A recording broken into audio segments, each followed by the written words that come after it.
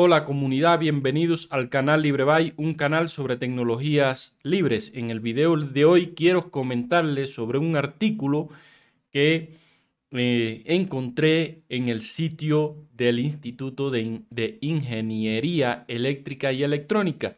Y es este artículo que están viendo aquí en pantalla. Recuerden que todos los videos que hacemos están en la plataforma disponible en la plataforma Library. En la descripción del video dejo el enlace al canal en esta plataforma. El, artículo, el artículo en sí trata sobre tres errores que se cometieron a la hora de desarrollar el protocolo TCP/IP, o sea, el protocolo en el cual está basado el Internet moderno, en el Internet que conocemos en el día de hoy. Eh, este protocolo es el que se encarga de especificar y además de llevar a cabo todo el proceso de comunicación entre los dispositivos que están conectados a Internet. Y este señor que está aquí es uno de los co-creadores de este protocolo. Se llama Bing.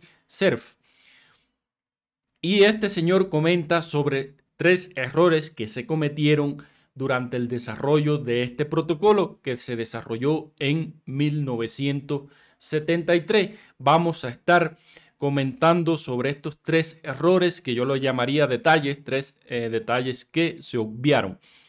El primero dice que, dice este señor, pensé que 32 bits era suficiente para eh, direcciones de Internet. O sea, direcciones de Internet de 32 bits eran suficientes para suplir eh, todas las necesidades en aquel entonces. Hay que recordar que era 1973. Dice, y por supuesto, dice este señor, y por supuesto, eh, todo el mundo ríe y dice, tú, eh, idiota, ¿por qué no pensaste en direcciones de 128 bits? La respuesta es que en 1973 las personas hubieran dicho, estás loco. Si crees que 3.5 veces 10 a la 38 direcciones para un experimento, o sea, estás loco si crees que vas a necesitar 3.4 veces 10 a la 38 direcciones de Internet para un experimento que quizás no funcione. Así que no fue, así que fue un, un error. No obstante, creo que en aquel momento no se hubiera podido vender la idea de los 128 bits, dice este señor. Bueno, sí, estoy con, eh, totalmente de acuerdo. Pienso que en aquel momento, 1973, pensar en direcciones de Internet de 128 bits era algo eh, que, que en aquel momento no era posible. No es que no era posible, sino que no iba a ser necesario. Imaginemos que más o 50 años después sigue eh, las direcciones IP versión 4, que son las de 32 bits, siguen estando presentes y la mayoría, la mayoría aún la, IP versión 6 no tiene una gran acogida o un gran despliegue. No acogida, porque acogida sí puede tener acogida, pero el despliegue de IP versión 6 eh, ha sido un proceso lento y paulatino, por lo que en este momento la mayoría de los servicios de Internet usan direcciones eh, de 32 bits, o sea, IP versión 4. Entonces estoy de acuerdo con este planteamiento eh, que no era sumamente necesario implementar eh, un protocolo basado en direcciones de 128 bits. El segundo error o detalle, yo lo llamaría detalle, dice que no puso suficiente atención a la seguridad. Vamos a leer y después comentamos al respecto. Dice que antes que, antes que llegara la criptografía de llave pública, la distribución de las llaves era un proceso manual y desordenado, dice este señor. era horrible y no escalaba. Así que no puse mucho énfasis en tratar de implementar eh, lo que es la criptografía en el protocolo TCP/IP y en el momento en que se implementó el algoritmo RCA estaba por liberar el protocolo. Estaba por liberar el protocolo, así que no hice mucho eh, énfasis en eh, el tema de la criptografía. Dice que aún no se arrepiente de aquello. Eh, esto me, me sorprende, ¿no? Dice que aún no se arrepiente de aquello porque los estudiantes graduados, que eran quienes mayormente construían y usaban Internet, eran las últimas personas a las cuales confiaría en mantener una disciplina eh, de, las llaves. O, sea, se está refiriendo al proceso de distribución manual de, las llaves. Así que eh, en aquel momento, pero, pero a veces pienso que en, que que en aquel momento debí haber puesto más, eh, más énfasis a lo que es la seguridad. Realmente yo pienso que este ha sido el mayor detalle que se vio en Internet. Ustedes se imaginan que en el día de hoy existe el protocolo eh, TLC precisamente para tratar de resolver este problema de seguridad. Porque el protocolo TCP/IP no implementa la criptografía por defecto. Por lo tanto, toda la información, toda la comunicación que se establece a través de este protocolo se realiza, eh, es, información clara, no es, no es información encriptada. Por eso han surgido estos protocolos como el protocolo eh, SSL y TLC, que es la versión moderna de SSL, para mitigar este problema.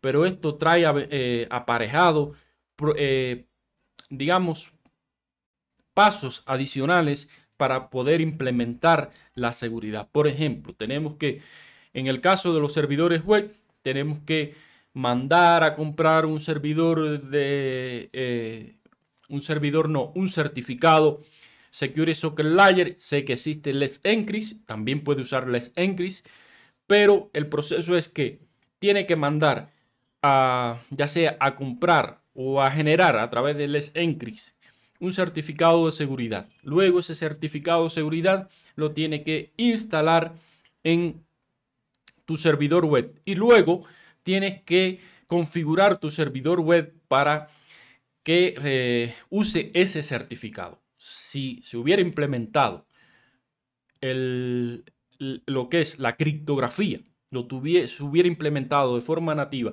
en el protocolo TCP/IP, todo este proceso sería innecesario, no sería necesario. Incluso es probable que no hubiera eh, surgido el protocolo HTTPS, porque no era necesario, suficiente con el protocolo HTTP. Surge el protocolo HTTPS precisamente para resolver este problema de seguridad. Otro otro protocolo que quizás no hubiera, eh, no se hubiera creado es el, de VPN.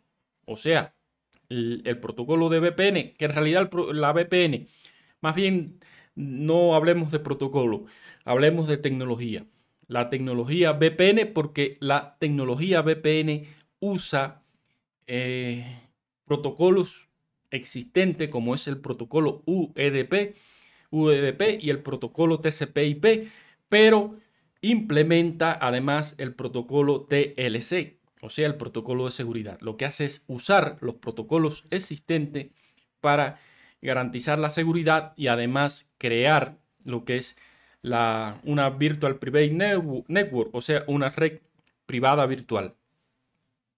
Y esto es posible hacerlo, bueno, precisamente por toda esta, esta información que va encriptada y se crea una red de área local segura si eh, se hubiera implementado la la criptografía por defecto en el protocolo TCP/IP, tampoco haría falta las VPN.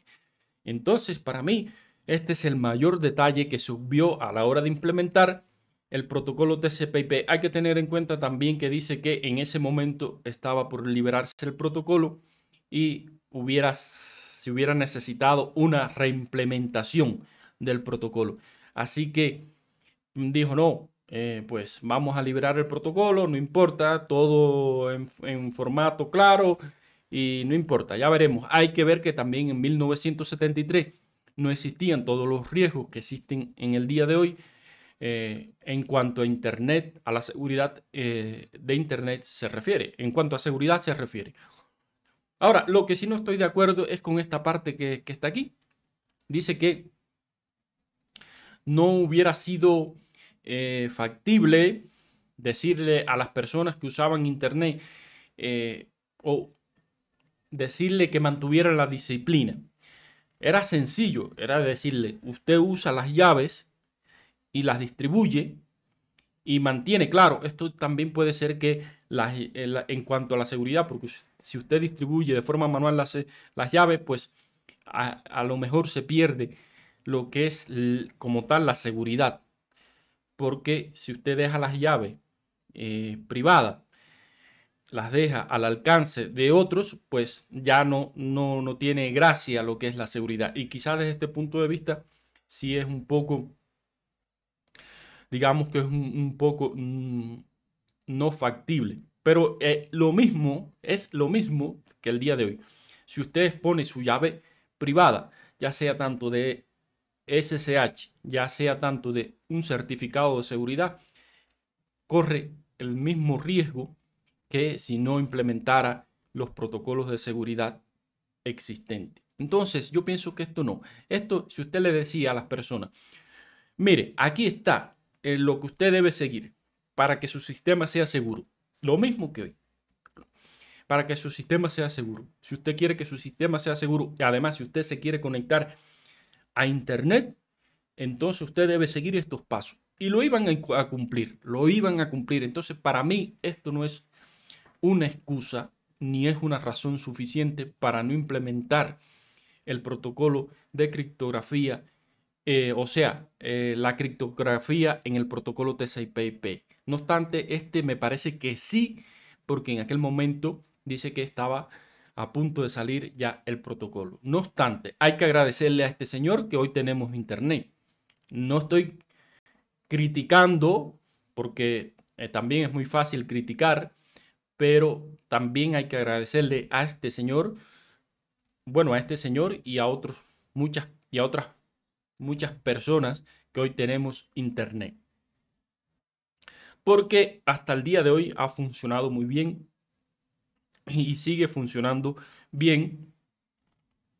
Y es en lo que se basa todo eh, el Internet eh, en el día de hoy. Número 3 dice que no le puso eh, especial atención a la implicación de la web. Este detalle para mí no es tan importante porque no podía prever. La web surge el protocolo sale aproximadamente en 1973, la web surge en 1989, más de 10 años después. No podía prever cuán importante iba a ser la web o cuán acogida iba a tener la web como tal. Entonces, desde el punto de vista, no me parece que este sea un gran detalle.